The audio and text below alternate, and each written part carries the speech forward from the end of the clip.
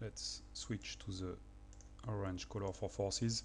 So we are going to create one force that points to this contact point here which is going to be equal and opposite to this one and then another one that points to this uh, point as well and that's going to be equal and opposite to the tangency force.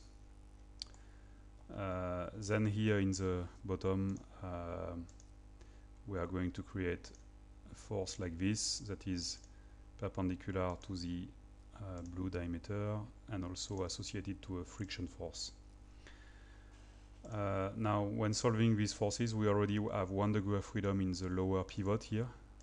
We unlock the force, it gives a second degree of freedom and then we unlock the angle that remains from the first step so it gives a third degree of freedom. Then we say sum of all these forces should be zero and also sum of uh, these moments, the moments of all these forces uh, should be zero. So checking the orientations of the frictions, uh, the system is rotating clockwise, so uh, this friction here is going in the right way, this friction is going the right way, this one as well, and uh, this here is also going in the right way because it's a force applied by the blue part on the orange part. Uh, last step, I'm going to create the forces applied on the blue component here in the, the right part of the model.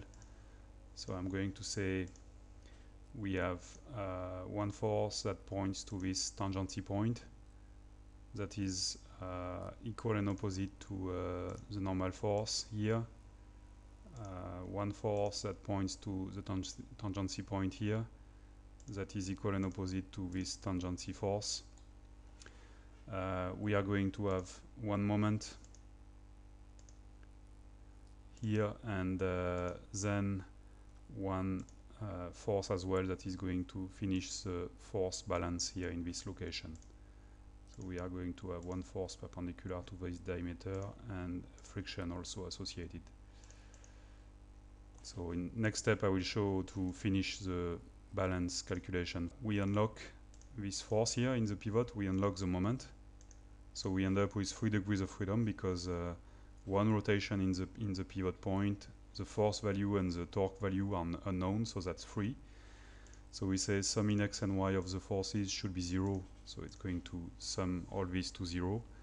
And then sum of the moments should also be 0. So we take the moment, the forces, and we sum them to zero in uh, one point on the blue lever, like this.